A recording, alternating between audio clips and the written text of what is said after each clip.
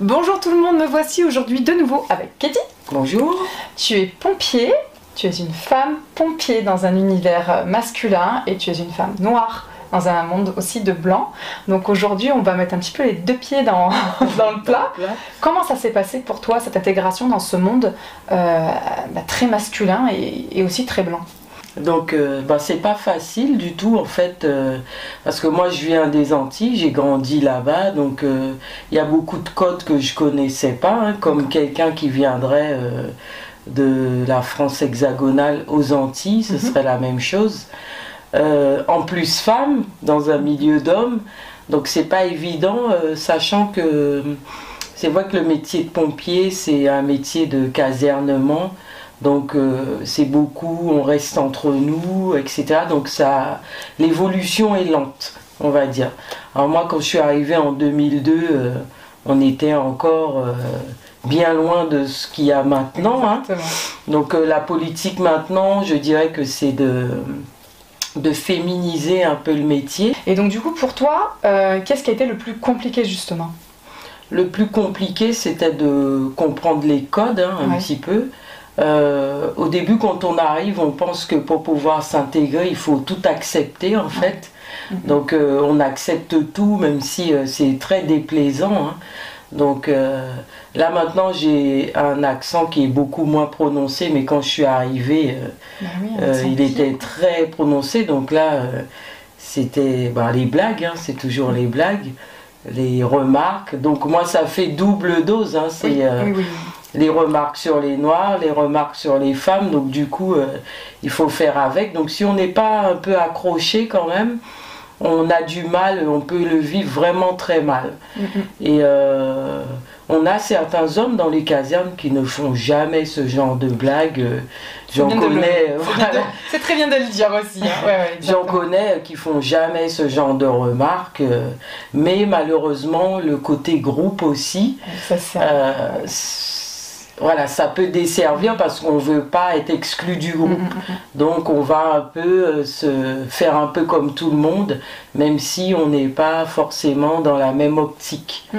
Mais euh, effectivement, c'était pas facile au début, mais je me suis bien accrochée. Je sais pas si c'est parce que j'ai euh, que des frères. Ça a peut-être dû aider aussi, c'est possible, et que j'étais très motivée. Et au fil du temps, bah, j'ai su faire ma place dans le milieu. Mais c'est sûr que c'est pas forcément très, très facile. Alors c'est vrai que là on est en 2022, donc euh, euh, on fait de plus en plus aussi euh, au cadre légal pour rappeler mm. bah, les, la xénophobie, la misogynie, mm. le sexisme en, fait. Hein. Donc là maintenant les femmes peuvent aussi parler d'articles de loi et, et ça, ça, calme aussi un petit peu parfois parce que ben, quand l'inspection du travail commence à mettre son nez dans un endroit, ben, ça ne plaît pas à la hiérarchie. Donc euh, je pense qu'aussi d'avoir une posture euh, peut aider euh, à faire justement une place aussi un peu plus juste, comme tu disais au tout début, on a tendance à accepter tout. je pense que ça concerne énormément de milieux, mais plus précisément les femmes et plus précisément les femmes racisées.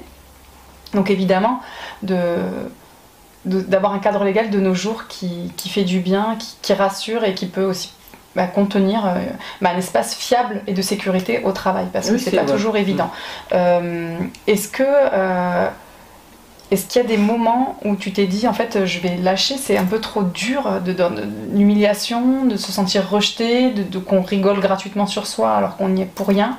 Il y a des moments où tu t'es dit c'est vraiment trop lourd. Hmm, j'ai pas souvenir d'avoir eu ce genre de moment, mais il y a oui, des moments où je me suis dit, c'est vraiment. Euh, c'est hard, C'est fatigant et tout. Euh, mais euh, je me suis accrochée. Et puis finalement, ce genre de personne disparaît toute seule. Laisse place à de nouvelles personnes. et puis, on a aussi de nouvelles personnes qui vont oser parler aussi. Des hommes qui vont oser dire, bon, c'est pas très marrant en fait. Et ça, ça a plus d'impact ah bah euh, qu'une femme qui va dire euh, ouais c'est pas drôle euh, mm-hmm. un homme qui va dire non c'est pas très drôle en fait là ça a beaucoup plus d'impact et ce serait bien qu'il y en ait plus puisque ça changerait vraiment les choses vis-à-vis euh, bah, de, la société, bah, de la condition des femmes.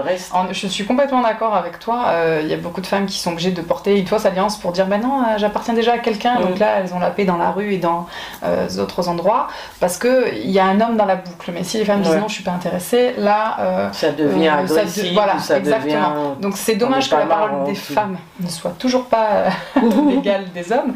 Mais si en effet les hommes qui trouvent assez injuste la misogynie, le sexisme et la xénophobie, ben, euh, venez, dans notre camp, c'est sympa de, parler d'égalité, euh, c'est plus agréable. En tout cas, à l'heure actuelle, tu observes qu'il y a vraiment une vraie différence entre 2002 et 2022. Mhm. Je sens vraiment qu'il y a des hommes qui ne font pas de blagues, qui mhm. se positionnent.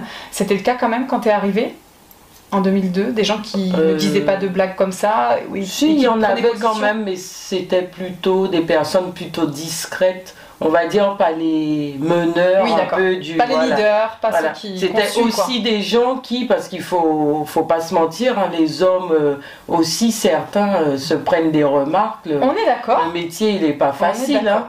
donc euh, quand il s'agit d'un côté un peu masculin la condition physique si un homme il l'a pas, euh, du coup là c'est vraiment, euh, on lui fait remarquer et puis il passe pas non plus euh, un bon moment quoi. Oui, l'apologie de la virilité détruit énormément les hommes. On est d'accord, mm. ça c'est incontestable.